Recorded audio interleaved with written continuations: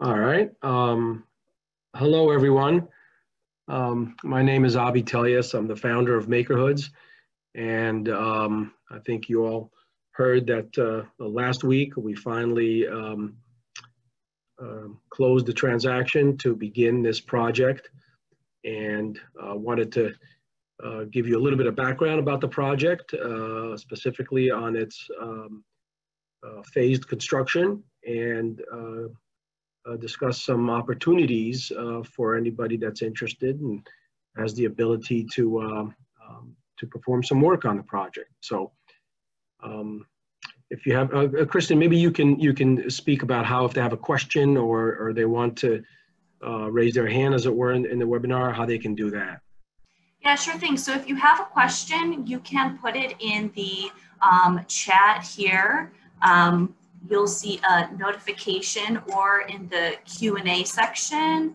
Um, and, and we'll be able to see that. And toward, at the end of the presentation, I will make sure to, uh, to make sure that Avi gets all the questions uh, in, in advance uh, or as, as we get to that part, portion of the presentation. Uh, so with that, Avi, I will uh, just tell me when to forward the slides. Good. So we also have uh, on the line um, uh, George Georgiadis from uh, Rig Construction and uh, Joe uh, Marino from Seaview Development, and, and I'll explain to you their role in, in, the, in the project. So go ahead and, and, advance the slide, Kristen. Um, why don't you go ahead, Kristen, and talk a little bit about Makerhoods and, and what we're about and what we're trying to accomplish here. Sure. So Makerhoods, um, we uh, are community development uh, that is centered around empowering and elevating and investing in overlooked makers. Um, we are a social enterprise that is dedicated to eliminating the barriers to entrepreneurship through affordable work-live developments and innovative business support programs. And essentially, at the end of the day, we are here to help underrepresented, under under-resourced makers increase their take-home in, income and generate wealth for themselves and their families. And the large kind of impetus of our uh, Newark Makerhoods project is that we will be recruiting 16 makers and providing them an apartment, a separate shop space, business support, and access to markets all at one monthly low cost, starting at $1,800 a month. And um, this is one component of, of the Makerhoods program, but Newark Makerhoods uh, also has the Krueger Scott Mansion that, that Avi will talk about. But essentially, the whole campus, if you will, is to support entrepreneurship, creativity, artisans, uh, into a, uh, and develop a community of like-minded uh, driven entrepreneurs who want to grow their business. Great. I'll go to the next slide. So the project, uh, as you know, of course, is at the Krueger Scott Mansion, um, and it's um, um, two two uh, distinct phases. One is the renovation of the mansion, um, and one is a uh, new construction of 66 apartments and a greenhouse structure uh, on the site. Um, and the reason I say it's phase one and phase two, uh, and this is the map of the, the um, layout. Number one is the mansion. That's a renovation project. As you know, that mansion has been uh, vacant for uh, probably 25 or 30 years, and it does require quite extensive renovation uh, that's true to its historic nature. Uh, number two is the apartment building. That's 66 apartments and there are 10 shops uh, below. And number three is the greenhouse. And uh, they, the reason we, we, we discuss them as two separate phases, the greenhouse and the residential in one and, and the mansion in another, is because they require two distinct sets of, of skills. One is a renovation that has to be true to the historic nature of the mansion that requires knowledge and expertise in restoration, uh, historic restoration work. And the other is the apartment building, which is a more uh, general purpose construction of an apartment building, it's a wood structure, and a greenhouse, which is a steel and glass structure. So go to the next one, uh, Kristen.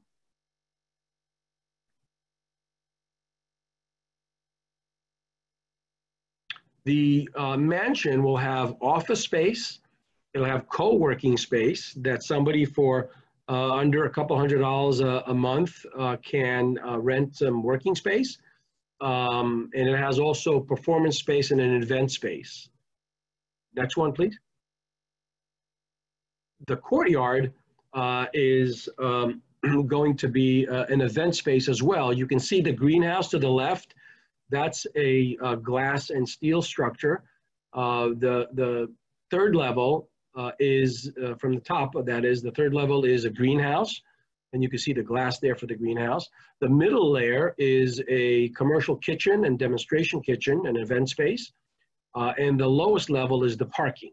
That's the ground level. And of course, we have the courtyard.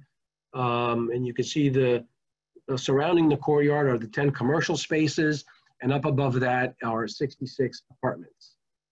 Uh, go ahead, Kristen. So the new construction is, the general contractor on that project is Rig Construction Group.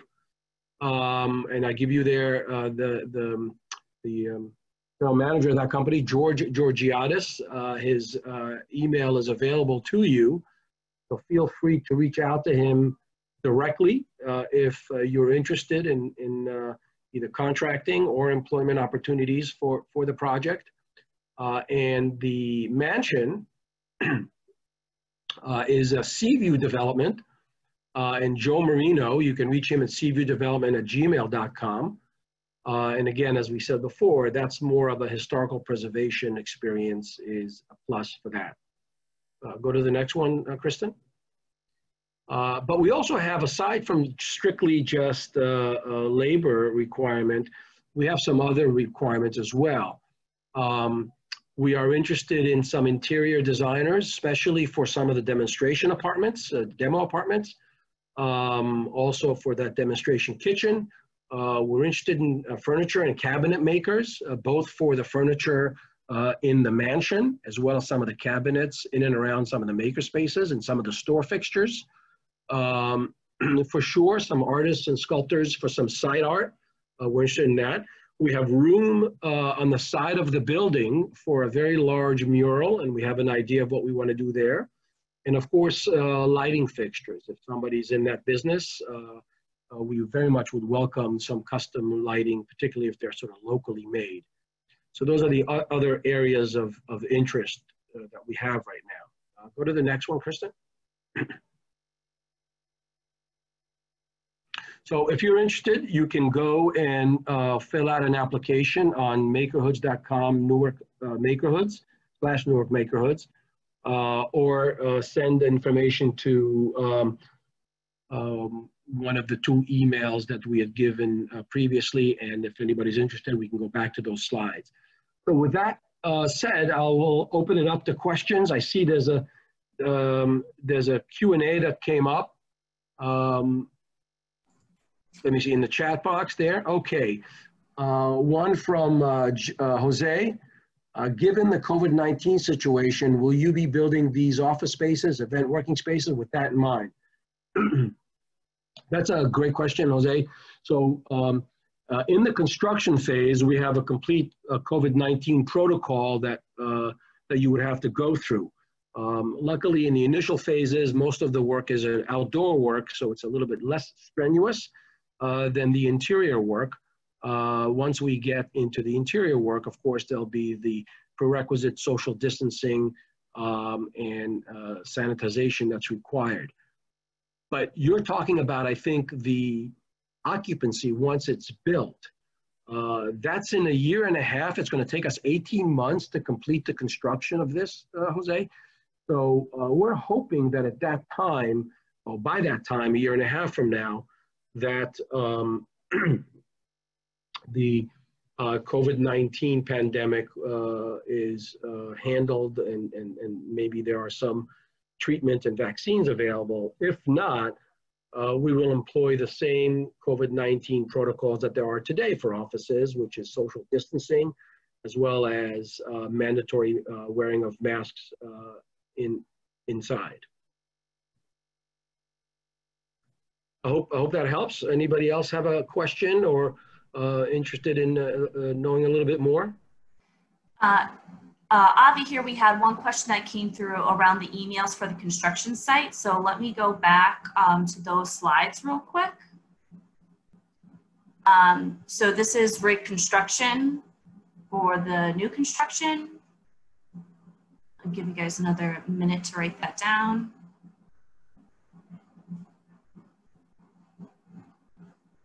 Okay, and then here is the um, other email address.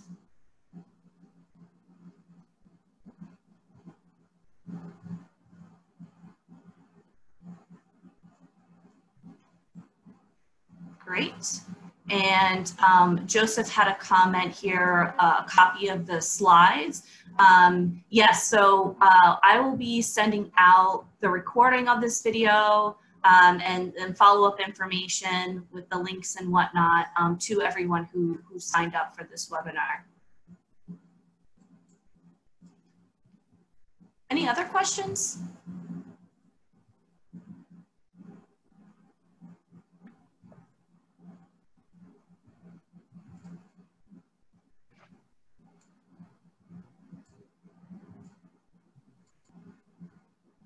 Avi, maybe you can just, um, yes, yeah, so another question we have is when will the construction begin, Avi?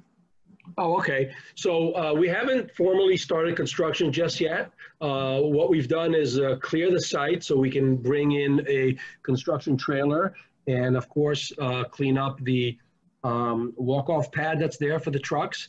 Um, as you know, there was a farm there before, so there was about three feet of topsoil, which we removed.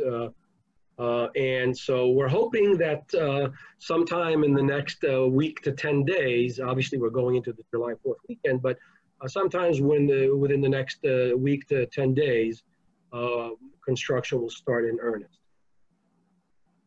It'll take about 18 months to complete.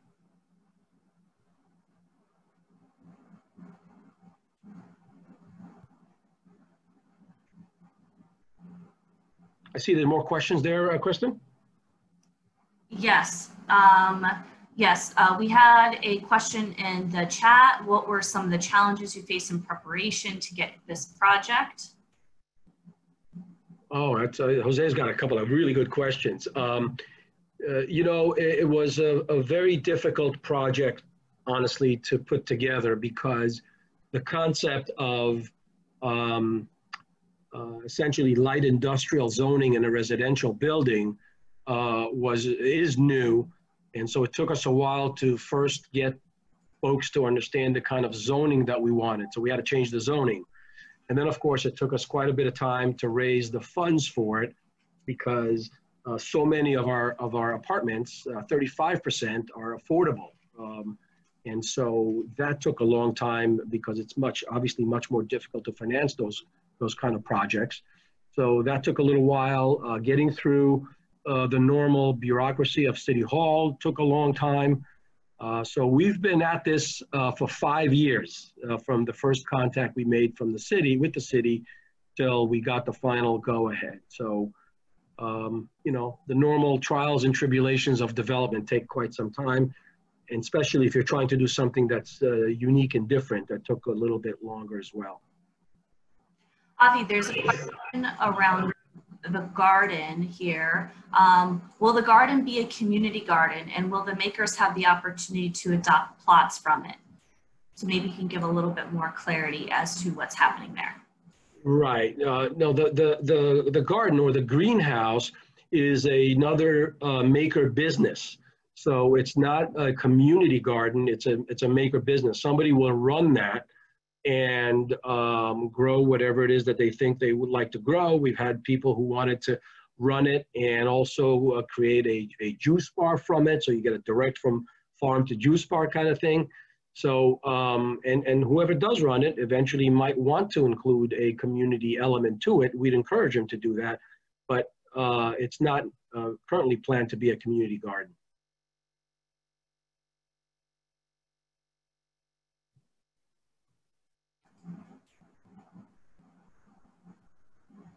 Any other questions?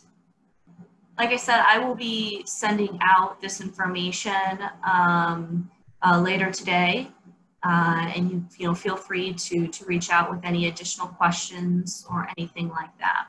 Kristen, give them those emails again, so if anybody missed it, they can have it and they can um, Sure thing.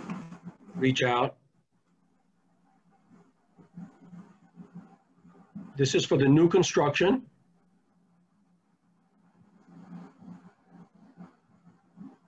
And this is for the mansion. In particular for the mansion, I'd like to say, uh, we definitely are looking out. Uh, I did searches, I couldn't find anybody. Maybe somebody can reach out to me. People that I can, that can make some uh, furnishings, some desks for the co-working space, some cabinets, uh, some sofas. But we have some uh, custom-made items that we'd love to have somebody locally make make for us. Um, we have another question here. Is this job open to bringing on new construction firms to look, work alongside RIG to gain some experience? And once the project is complete, how can makers assist this firm beyond this project? So um, I think, so you're saying a, a small uh, firm is interested in, in bidding on parts of the project? Is that what the question is? Uh, I think so. Um, is, uh, is this job open to bringing on new construction firms to work alongside RIG to gain some experience? That's- So, so, okay, I understand. So we, we, um, Yes, uh, yeah. Right, so the contracts for the residential and the contract for the mansion have been given. So those contracts have been given. But, you know, if you have a, a small company that wants to gain some experience um, and, uh, you know, reach out to this number here as well as Rig Construction and Seaview and, and let's see if there's a way that we can um, uh, incorporate some of, some of your folks in, in, a, in a kind of a, of a, of a learning mode and working mode. Sure, I think that's something that we should we should take a look at. Uh, one of the ideas that we have, for example, is um, we want to be able to finish each apartment uh, in total before we go to the next apartment. So if you have a crew that includes some carpenters, electricians, and a plumber that may be able to do some of that work, that might be an opportunity to take one apartment at a time, pardon me, and complete it. So by all means, reach out to the folks we mentioned, and, and it's worth a conversation.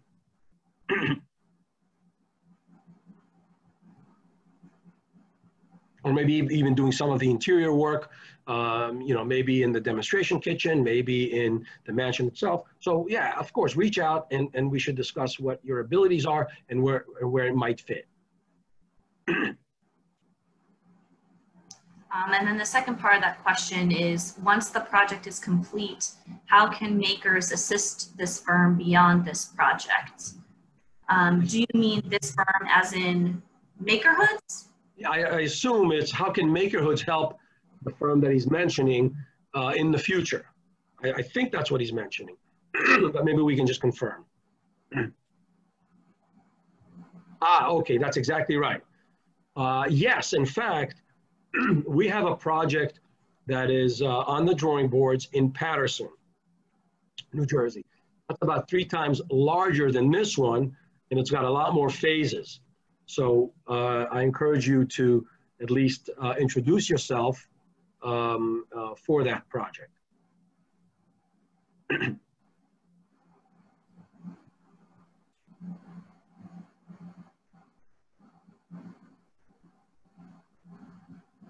I see a question from BB about a maintenance crew.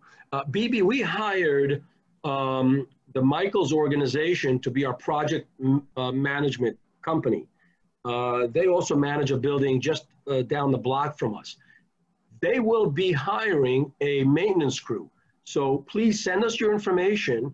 We'll give you, we'll give that to the Michaels organization. When they, in about 18 months, come on board, they should definitely reach out to you and have you bid for the maintenance.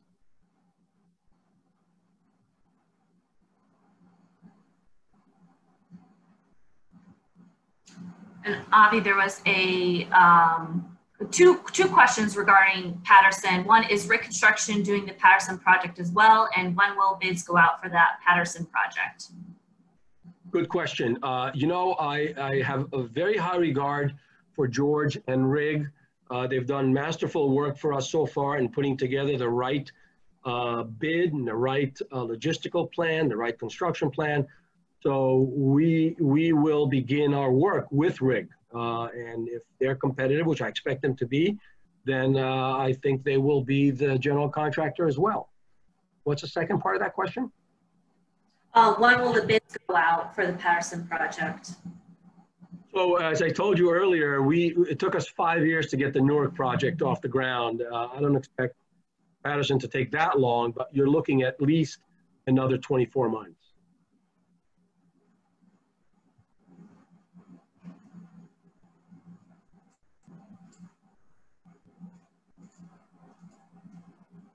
Kristen, make sure you send BB the um, contact information for um, uh, the Michaels organization folks on the management team. I think Mar it was Mario.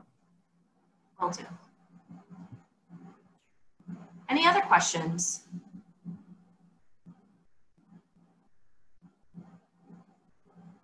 Thank you, Jose. Thank you. We'll just stay on for, for another minute here.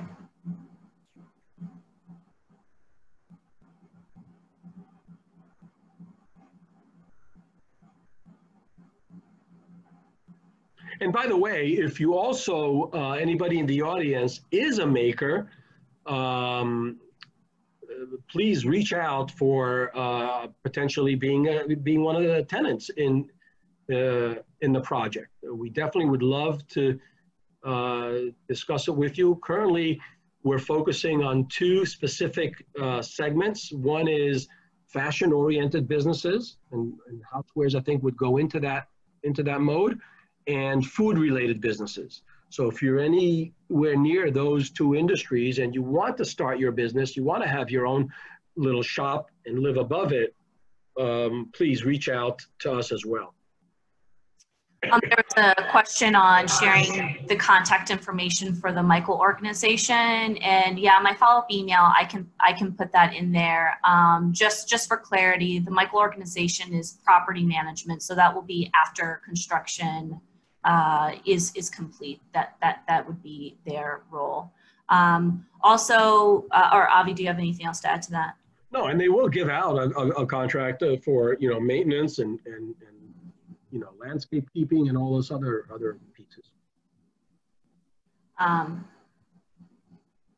great, and then also, and also to a note on um, uh, uh, becoming a maker uh, with the apartment and the separate uh, commercial space. Um, there will be an application uh, process for that and we expect to release the preliminary criteria um, to, to be prepared for when the application goes live.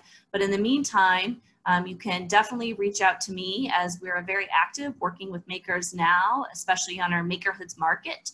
Um, and you will have my contact information when I send the follow-up uh, uh, email. And Great. I see a couple of comments here, which I like. Uh, uh Joseph uh, Dunphy talked a little bit about his uh, skills in audio and acoustical treatments um, and working on project for veterans. Um, Joseph, in the mansion, we're planning in the basement to do something along the lines of, of um, a micro theater and also a um, uh, maybe some some some small uh, recording uh, capability. So certainly uh, reach out to Kristen, talk about that because I think that would be a good. Um, that would actually be excellent if we can involve some veterans in that. Uh, then a question from Bibi, uh, an idea of how many bedrooms the apartments. So Bibi, the apartments are a one bedroom, a two bedroom, and something that's a little unique, also three bedrooms. Very few of the new developments have three bedrooms. We very much would like to invite families to our community. So we made four of the of the 66 apartments. I think it's four. I, I don't remember. Might be a little bit more. Uh, are three bedrooms as well. So you have a choice of any one of those.